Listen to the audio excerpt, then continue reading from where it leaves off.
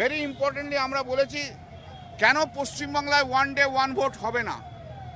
কারণটা one pole হবে না কেন? একদিনে কেন হবে না?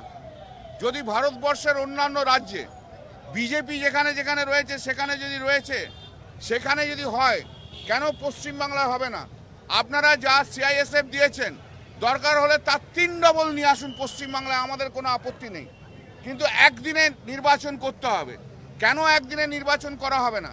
ছয় থেকে সাতবার সাতবার, সাতটা ফেজে নির্বাচন করা হবে। শুধু প্রাইম মিনিস্টার নরেন্দ্র মোদী আর হোম মিনিস্টার অমিত শাহ, তারা পশ্চিমবাংলায় বারবার আসবে, এসে ইলেকশন ক্যাম্পেনিং করবে, তার জন্য? তাহলে লেভেল প্লেইং ফিল্ড কি করে হবে? লেভেল প্লেইং ফিল্ডে তো সমস্ত রকমের রাজনৈতিক বক্তব্য, রাজনৈতিক নেতাদের এক্সপোজার যেভাবে থাকার, তাই যদি থাকে, তাহলে পশ্চিমবাংলার ক্ষেত্রে অন্য কেন হবে?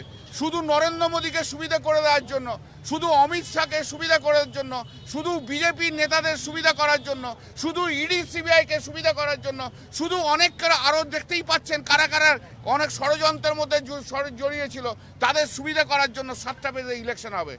দরকার হলে আনুন, যা পুলিশ ফোর্স দরকার হবে, আপনাদের, এটা আপনাদের অ্যাসেসমেন্ট আপনারা করুন, আমাদের কোনো আপত্তি নেই।